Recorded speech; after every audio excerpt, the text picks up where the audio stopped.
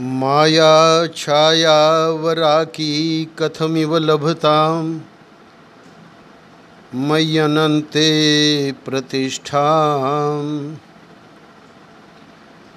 अस्थाने चेश्वरत्वं द्रुहिणहरिहरा हन्तमह्ने स्फुलिङ्गाः। अद्वैते द्वैतखेला। गगननलिनवत् स्वप्नवत् जीवमेला श्रीपूर्णानन्दवाणी श्रुतिशिखरसुधा स्वर्णदीनः पुनातु।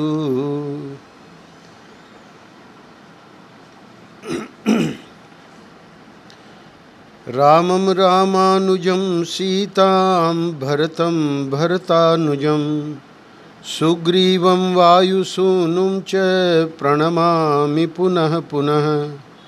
नमोऽस्तु रामाय सलक्ष्मणाय, देव्यै च तस्यै जनकात्मजायै। नमोऽस्तु रुद्रेन्द्रयमानिलेभ्यो, नमोऽस्तु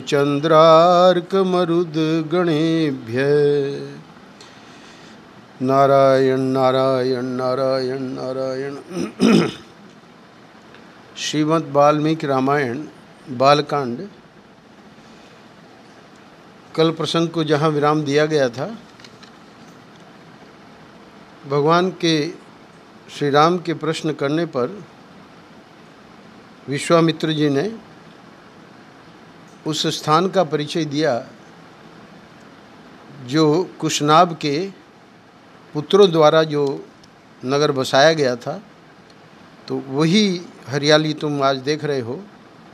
और फिर वो कुशनाब के आगे जो संतान हुई, उसमें बताया कि पुत्रेष्टि यज्ञ किया कुशनाभ जी ने, और उस यज्ञ के होते समय परम उदार ब्रह्म कुमार महाराज कुश ने, यानी कुशनाभ जी के पिताजी ने जो कि ब्रह्मा जी के पुत्र थे कुशनाभ से कहा कि, बेटा, तुम्हें अपने समान ही परम धर्मात्मा पुत्र प्राप्त होगा।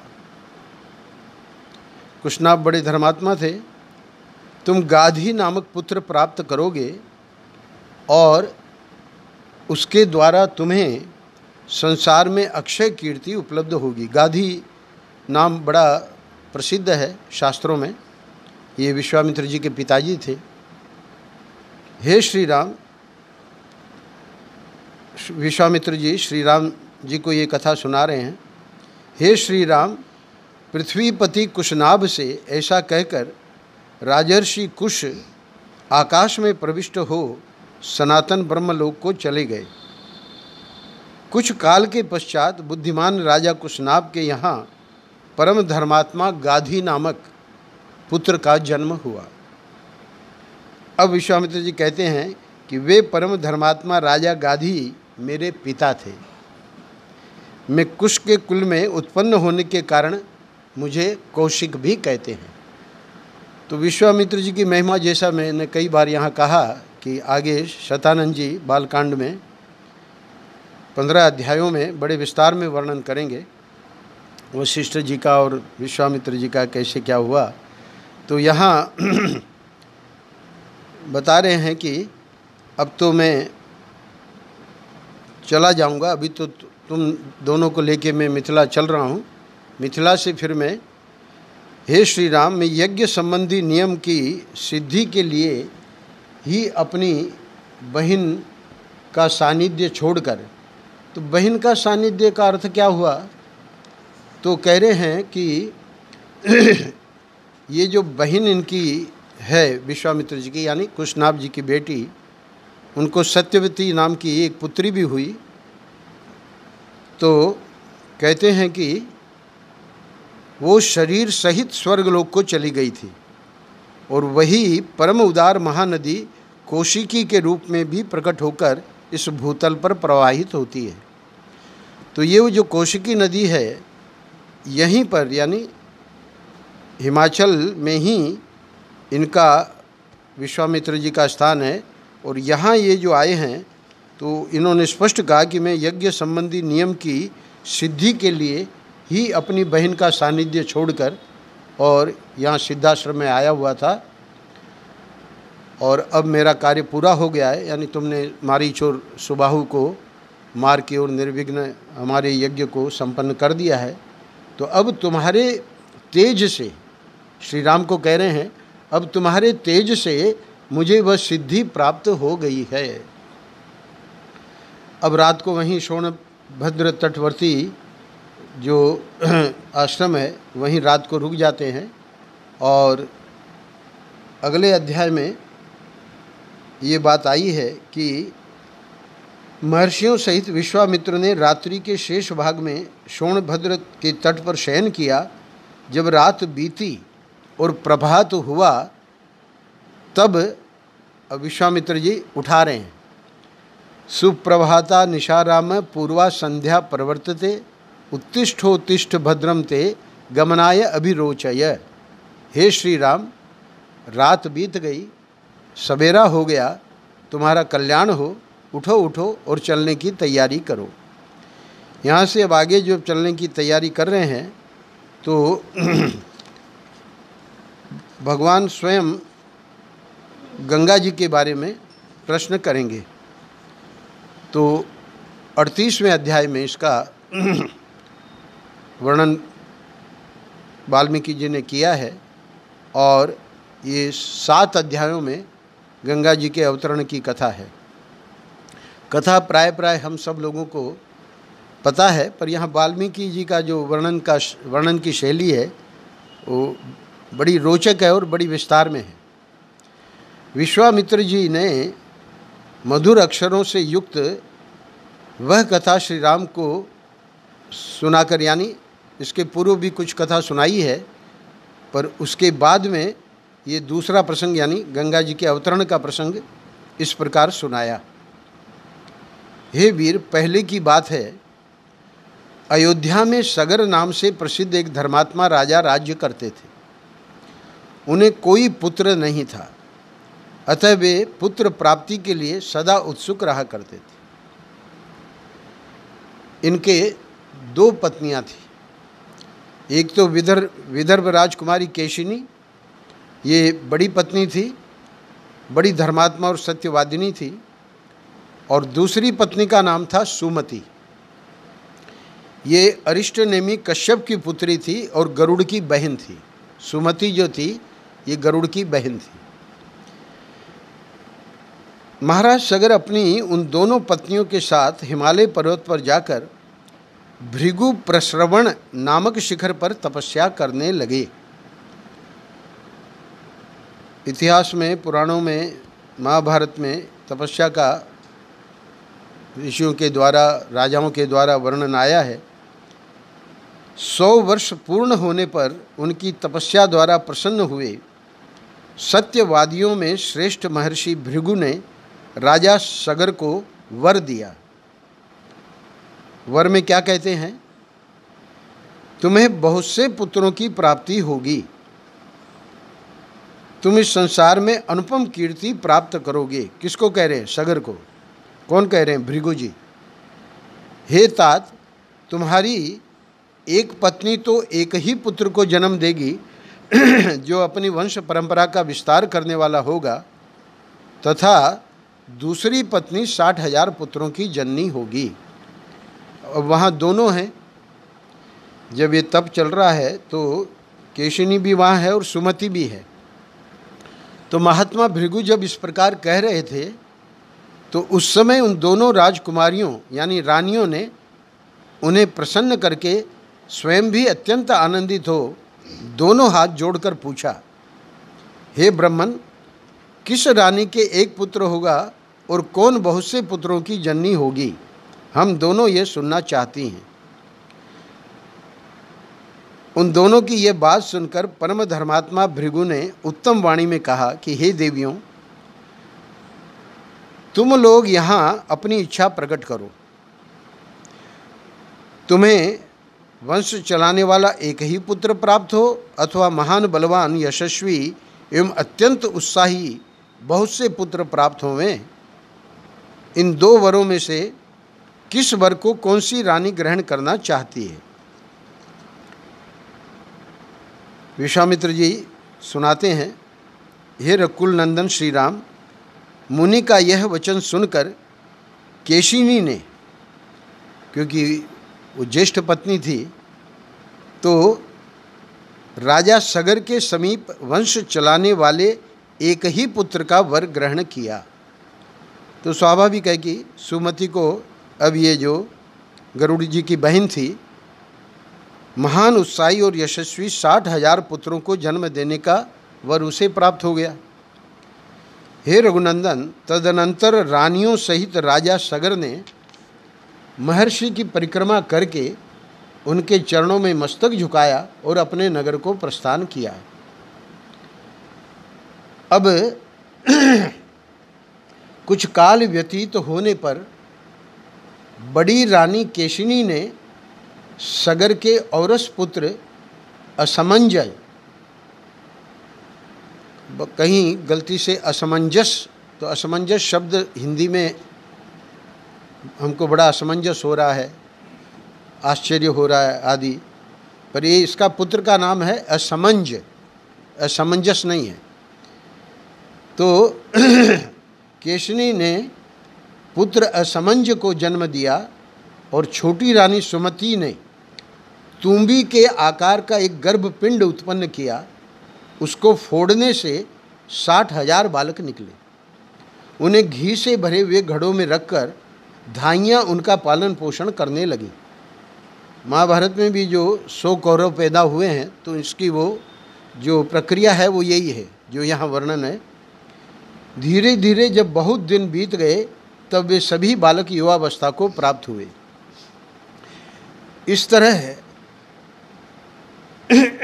दीर्घ काल के पश्चात राजा सगर के रूप और युवावस्था से सुशोभित होने वाले साठ हज़ार पुत्र तैयार हो गए। हे नरश्रेष्ठ रघुनंदन, विश्वामित्र जी कह रहे हैं, सगर का ज्येष्ठ पुत्र असमंज नगर के बालकों को पकड़कर सरयू के जल में फेंक देता। भागवत में वेन का वर्णन आया है। वेन जो था, वो भी इसी प्रकार से करता था। खैर बाद में तो उसको राजा बनाना पड़ा। तो ये असमंज भी उसी की प्रकृति का था। और जब वे डूबने लगते, तब उनकी ओर देखकर हंसा करता। इस प्रकार पापाचार में प्रवृत्त होकर जब वह सत्पुरुषों को पीड़ा देने और नगर निवासियों का अहित करने लगा, तब पिता ने उसे नगर से बाहर निकाल दिया। असमंज को बाहर निकाल दिया। असमंज के पुत्र का नाम था अंशुमान। अभी अंशुमान के आगे जो पीढ़ी है, वो सब हम लोग परिचित है उससे। वह बड़ा ही पराक्रमी, सबसे मधुर वचन बोलने वाला तथा सब लोगों को प्रिय था। अब यहाँ ये अड़तीसवां अध्याय पूरा हो रहा है। हे नरश्रेष्ठ, हे श्री राम कुछ काल के अनंतर महाराज सगर के मन में यह निश्चित विचार हुआ कि मैं यज्ञ करूँ। यह दृढ़ निश्चय करके राजा लोग यज्ञ करते थे उन दिनों में तो वे वेद वेदता नरेश अपने उपाध्यायों के साथ यज्ञ करने की तैयारी में लग गए। अगले अध्याय में वर्णन करते हैं वाल्मीकि जी। विश्वामित्र जी की कही हुई कथा सुनकर श्री रामचंद्र जी बड़े प्रसन्न हुए।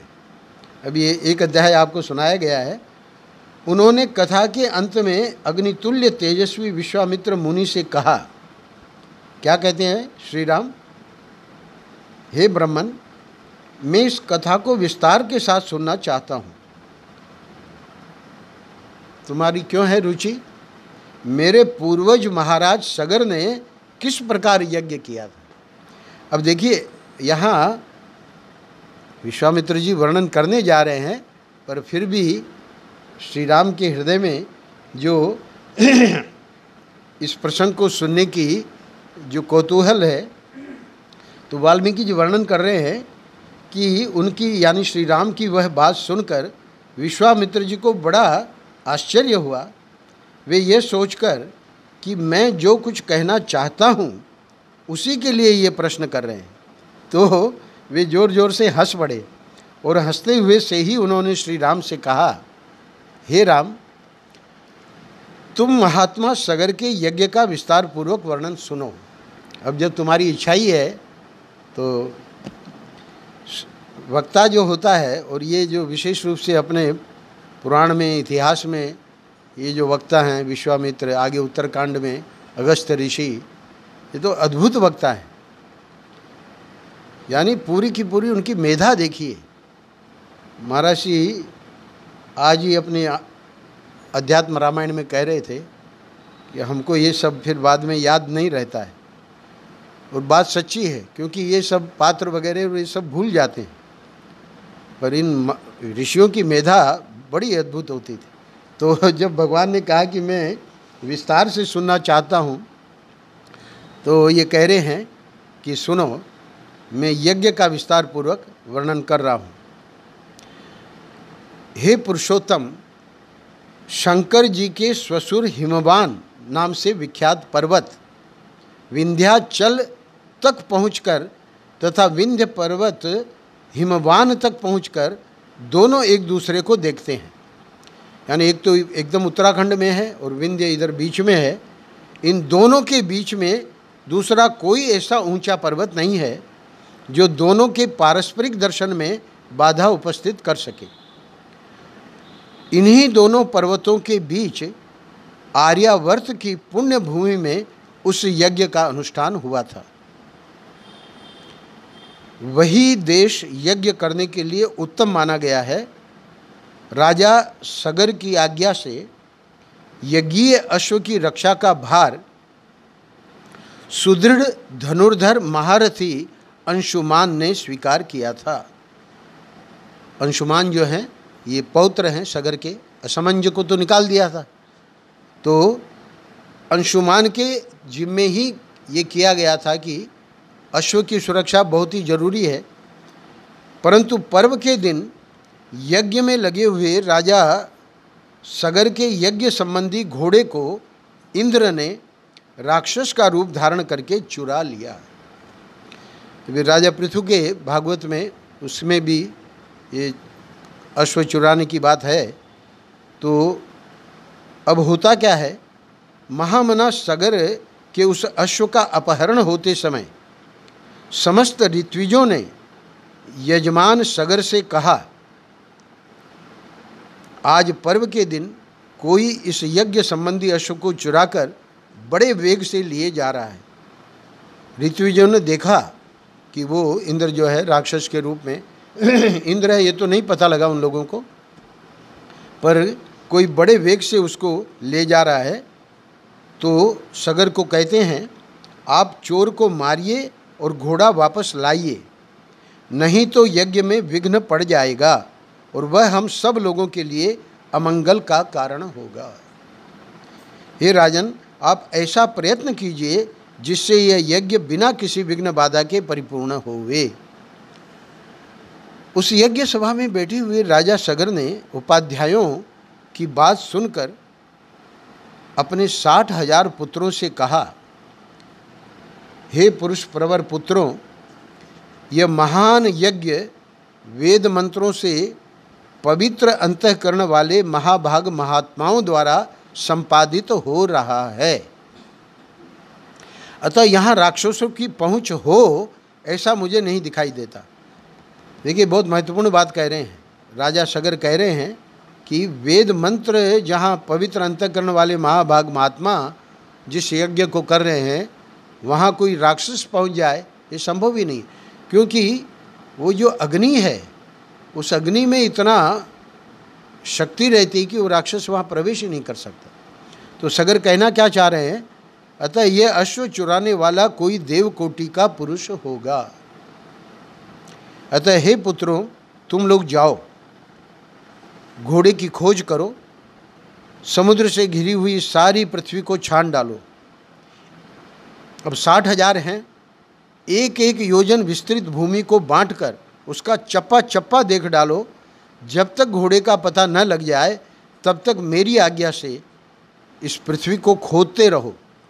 इस खोदने का एक ही लक्ष्य है, उस अश्व के चोर को ढूंढ निकालना।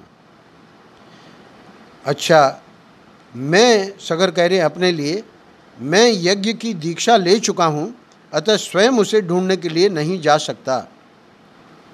इसलिए जब तक उस अश्व का दर्शन न होवे, तब तक मैं उपाध्यायों और पौत्र अंशुमान के साथ यहीं रहूँगा।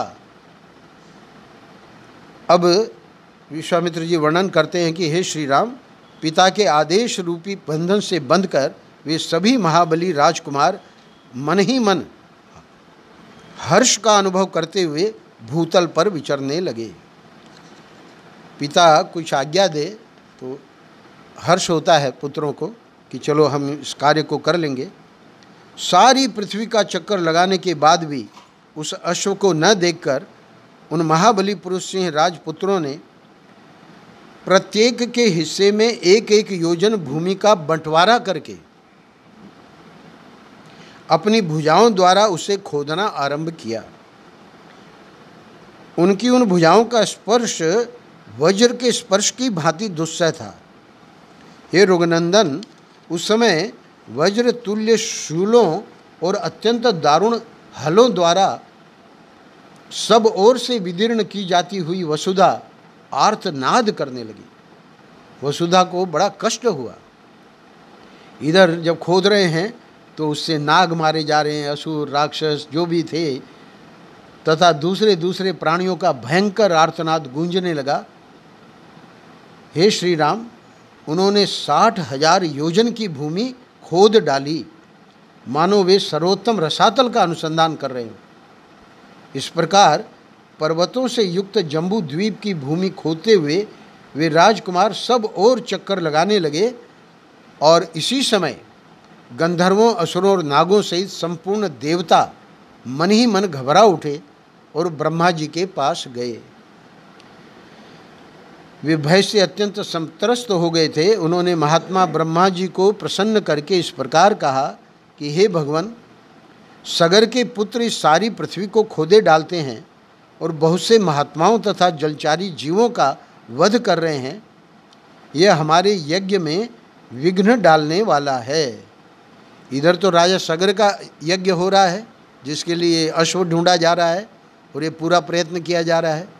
और देवताओं का जो यज्ञ है, उसमें ये विघ्न रूप है। अच्छा नहीं, ये जो अगला अंतिम जो श्लोक है, ये कौन कह रहे हैं? सगर के पुत्र कह रहे हैं कि यह हमारी यज्ञ में विघ्न डालने वाला है यह हमारा अश्व चुरा कर ले जाता है, ऐसा कहकर वे सगर के पुत्र समस्त प्राणियों की हिंसा कर रहे हैं।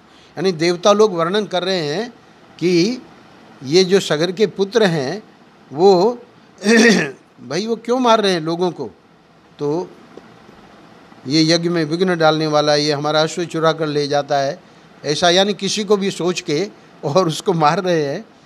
तो इतना वर्णन यहाँ उनचालीसवें अध्याय में करके वाल्मीकि जी अगले अध्याय में कहते हैं कि देवताओं की बात सुनकर भगवान ब्रह्मा जी ने कितने ही प्राणियों का अंत करने वाले सगर पुत्रों के बल से मोहित एवं भयभीत हुए उन देवताओं से इस प्रकार कहा, हे देवगण, यह सारी पृथ्वी, ब्रह्मा जी क्या कह रहे हैं? ध्यान से सुनिएगा, हे देवगण ये सारी पृथ्वी जिन भगवान वासुदेव की वस्तु है, तथा जिन भगवान लक्ष्मीपति की यह रानी है, वे ही सर्वशक्तिमान भगवान श्री हरि कप, कपिल मुनि का रूप धारण करके निरंतर इस पृथ्वी को धारण करते हैं। और ब्रह्मा जी जो ये बात बता रहे हैं, ये देवताओं को ये बात पता नहीं है तो इसलिए वो जो कपिल मुनि हैं, यानी भगवान श्री हरि ही कपिल मुनि के रूप में हैं और वे ही इस पृथ्वी को धारण करते हैं तो उनकी कोपाग्नि से ये सारे राजकुमार जलकर भस्म हो जाएँगे। ब्रह्मा जी को ये पता है कि साठ हज़ार में से कोई नहीं बचेगा। पृथिव्याश्चापि निर्भेदो दृष्ट एव सनातन है सागरस्य च पुत्राणाम विनाशो दीर्घदर्शी नाम पृथ्वी का ये भेदन सनातन है, यानी प्रत्येक कल्प में अवश्यम भावी है। श्रुतियों और स्मृतियों में आए हुए सागर आदि शब्दों से ये बात सुस्पष्ट ज्ञात होती है। तो इसी प्रकार दूरदर्शी पुरुषों ने सगर के पुत्रों का भावी विनाश भी देखा ही है। यानी, हे देवताओं, आप लोग जो ये शिकायत लेके आए हो, है ना, उसकी कोई चिंता करने की ज़रूरत नहीं है। ये तो इतिहास है जो कि दोहराया जाता है बार बार अतः इस विषय में शोक करना अनुचित है। ब्रह्मा जी का ये कथन सुनकर, शत्रुओं का दमन करने वाले तैतीस देवता बड़े हर्ष में भरकर यहाँ तैतीस ही आए हैं, तैतीस करोड़ नहीं है। जैसे आए थे, उसी तरह पुनः लौट गए। अच्छा उनका क्या हुआ? सगर पुत्रों का? सगर पुत्रों के हाथ से जब पृथ्वी खोदी जा रही थी उस समय उससे वज्रपात के समान बड़ा भयंकर शब्द होता था। इस तरह सारी पृथ्वी खोदकर तथा उसकी परिक्रमा करके वे सभी सगर पुत्र पिता के पास खाली हाथ लौट आए। अब पिता को क्या कहते हैं? हे पिताजी, हमने सारी पृथ्वी छान डाली। देवता, दानव, राक्षस, पिशाच और नाग आदि बड़े बड़े बलवान प्राणियों को मार डाला। क्यों मारा तुमने? ये यज्ञ में विघ्न डालने वाले यानी शंका हुई कि यही शायद हमने, हमारे अश्व को चुराया है, ये हमारा अश्व चुरा कर ले जाता है। तो ऐसे कई, कईयों को मार डाला। फिर भी हमें न तो कहीं घोड़ा दिखाई दिया और न घोड़े को चुराने वाला ही दिखाई दिया। अब हमारे लिए आप बताइए कि हम क्या करें। इस विषय में आप ही कुछ उपाय सोचिए। विश्वामित्र जी कहते हैं कि हे रघुनंदन, पुत्रों का यह वचन सुनकर राजाओं में श्रेष्ठ सगर ने उनसे कुपित होकर कहा, जाओ, फिर से सारी पृथ्वी खोदो और इसे विदीर्ण करके घोड़े के चोर का पता लगाओ। चोर तक पहुंचकर काम पूरा होने पर ही लौटना। ये तो कोई बात ही नहीं हुई ना? परम पूज्य महाराज श्री ने मतलब अभी तो ये हमारी गंगा अवतरण का भूमिका है तो महाराज श्री ने कहा है कि असल में गंगा अवतरण की कथा मनुष्य के पौरुष की कथा है। यदि मनुष्य अपने कर्तव्य कर्म में मनोयोग पूर्वक लगा रहे तो एक न एक दिन उसको सफलता मिलती ही है। देखिए, वहाँ एक पीढ़ी में नहीं सफलता मिली तो आगे वर्णन आवेगा कि कैसे और यहाँ ये सगर के साठ हज़ार पुत्र लौटे आए। तो पिता कहता है कि फिर जाओ।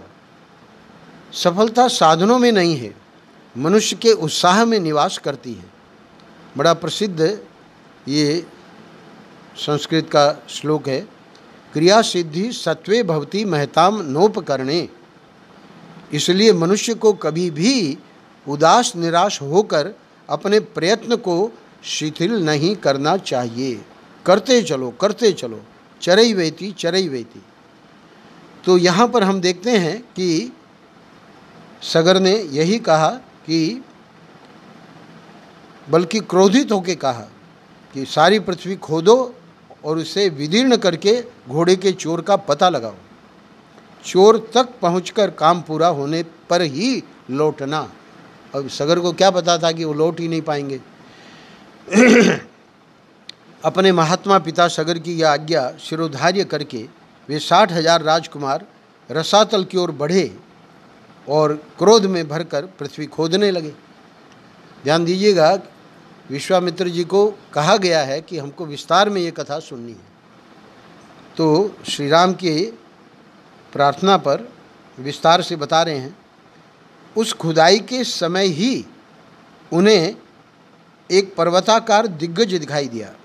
अब ये इसका जो क्रम है, आप हमेशा देखेंगे शास्त्रों में, पूर्व दिशा से फिर दक्षिण, फिर पश्चिम और फिर उत्तर। तो पूर्व की खुदाई हो रही है और उसी दिशा में एक पर्वताकार दिग्गज इनको दिखता है। नाम उनका पता लगा, ये वीरूपाक्ष इसका नाम है, और वो दिग्गज क्या कर रहा है? उस भूतल को धारण किए हुए। अच्छा अब हे रघुनंदन, महान गजराज विरूपाक्ष ने पर्वत और वनों सहित संपूर्ण पृथ्वी को अपने मस्तक पर धारण कर रखा था। ये तो हुआ पूर्व की दिशा का वर्णन। वह महान दिग्गज जिस समय थककर विश्राम के लिए अपने मस्तक को इधर उधर हटाता था, लोग पूछते हैं ना कि भूकंप क्यों आता है? तो बस वो उस समय भूकंप होने लगता है। हे श्री राम पूर्व दिशा की रक्षा करने वाले विशाल गजराज विरूपाक्ष की परिक्रमा करके उसका सम्मान करते हुए वे सगर पुत्र रसातल का भेदन करके आगे बढ़ गए। यानी दक्षिण दिशा की ओर आए। पूर्व दिशा का भेदन करने के पश्चात वे पुनः दक्षिण दिशा की भूमि को खोदने लगे। दक्षिण दिशा में भी उन्हें एक महान दिग्गज दिखाई दिया। यानी चार दिग्गज इसको थामे हुए हैं, पूरी पृथ्वी को। उसका नाम था महापद्म। अब उसको भी प्रणाम करके और परिक्रमा करके आगे बढ़ते हैं, पश्चिम दिशा में। वहाँ की भूमि का भेदन करने लगे तो पर्वताकार दिग्गज सोमनस का दर्शन होता है और फिर उत्तर दिशा में जब जाते हैं तो वहाँ पर हिम के समान श्वेत भद्र नामक दिग्गज का दर्शन हुआ, जो अपने कल्याणमय शरीर से इस पृथ्वी को धारण किए हुए था।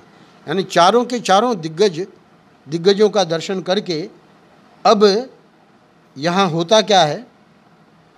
उसका कुशल समाचार पूछकर राजा सगर के वे सभी साठ हज़ार पुत्र, यानी प्रत्येक दिग्गज से कुशल समाचार पूछकर उसकी परिक्रमा करने के पश्चात भूमि खोदने के काम में जुट गए। अब खोदने का कार्य शुरू है। अब चारों दिशाओं में खुद गया है। पूर्वोत्तर यानी पूर्व और उत्तर के बीच की दिशा में जाकर उन सगर कुमारों ने एक साथ होकर रोष पूर्वक पृथ्वी को खोदना आरंभ किया। यहीं पर एक घटना घटित होती है। इस बार उन सभी महामना, महाबली एवं भयानक वेगशाली राजकुमारों ने वहाँ सनातन वासुदेव स्वरूप भगवान कपिल को देखा। जो बताया था ब्रह्मा जी ने देवताओं को कि भगवान हरि ही कपिल रूप में हैं तो अब ये साठ हज़ार जो सगर के पुत्र हैं, वो देखते हैं भगवान कपिल को और राजा सगर के यज्ञ का वह घोड़ा भी भगवान कपिल के पास ही चल रहा था। देखिए, इंद्र ने क्या किया है? घोड़ा चुरा कर और वहाँ कपिल के यहाँ छोड़ दिया है। वो चल रहा है अपना। हे रघुनंदन, उसे देखकर उन सबको बहुत हर्ष प्राप्त हुआ।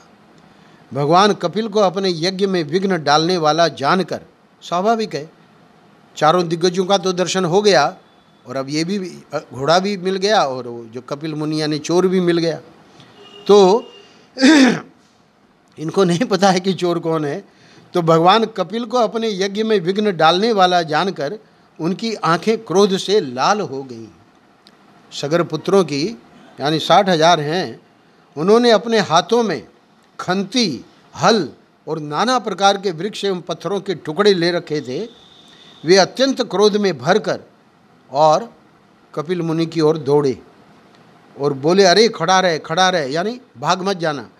तू ही हमारे यज्ञ के घोड़े को यहाँ चुरा लाया है। हे दुर्बुद्धे, अब हम आ गए। तो पिता ने आज्ञा करी थी, है ना? जब तक घोड़े को नहीं देखो, तब तक लौटना नहीं। अब घोड़े को देख तो लिया, पर अब लौट नहीं पाएँगे बेचारे। क्यों? क्योंकि कपिल को कह रहे हैं, तू ही हमारी यज्ञ के घोड़े को यहाँ चुरा लाया है। हे दुर्बुद्धे, अब हम आ गए। तू समझ ले, हम महाराज सगर के पुत्र हैं। बड़ा परिश्रम किया है। यानी उसी को बाद में गंगा जी ने उसको पूरा भर दिया तो वही सागर है। आज जो समुद्र है तो कितना बड़ा खोदा होगा।